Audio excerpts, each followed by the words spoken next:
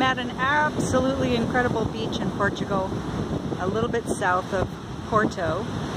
Took a train, about two euros in 30 minutes, a local train, pretty amazing.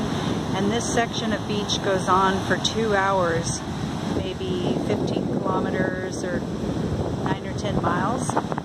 It just goes on and on and on along this incredible beach with boardwalk, like the whole way. And it's just spectacular.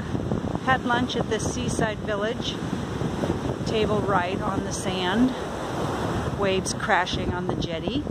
And here I'm walking to this little uh, chapel up here, the white one on the rocks.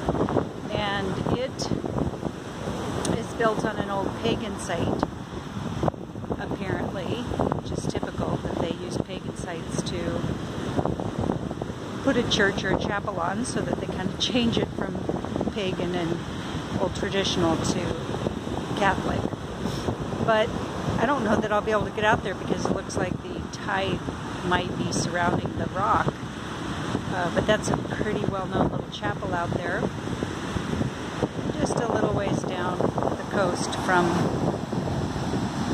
Porto. So the walk here is out of this world. What a great way to spend the afternoon. Get out of the hustle and bustle of all the tourists in Porto, which Porto is phenomenal. Just an incredible place to visit. But I love to get out and see some of the other natural wonders